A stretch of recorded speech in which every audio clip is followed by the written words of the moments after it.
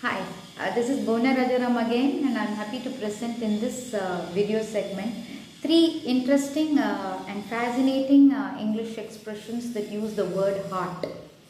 Uh, first one is be still my heart. Second one is eat your heart out. Third is faint of heart. So what is be still my heart?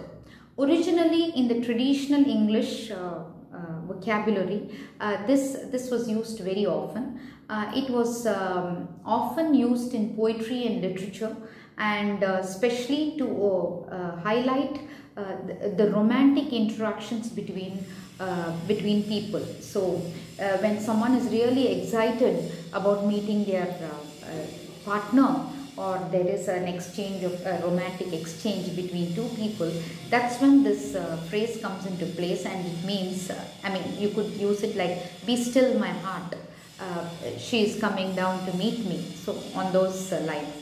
But however in contemporary english it has come to mean completely different uh, because it, it means uh, in a very sarcastic manner not to get excited about something that's very mundane and boring right? So uh, let's look at one example that actually speaks about the formal traditional way right?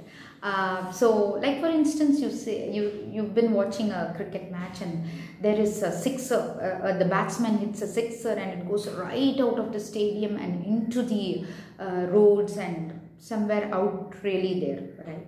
So that instant you can really say my god that's you're really excited and that's when you say be still my heart but on another example when you're reminded about uh, an upcoming um, wedding anniversary of yours and your husband jocularly says or rather you're you're having a conversation between um, uh, you both uh, i mean a couple is having a conversation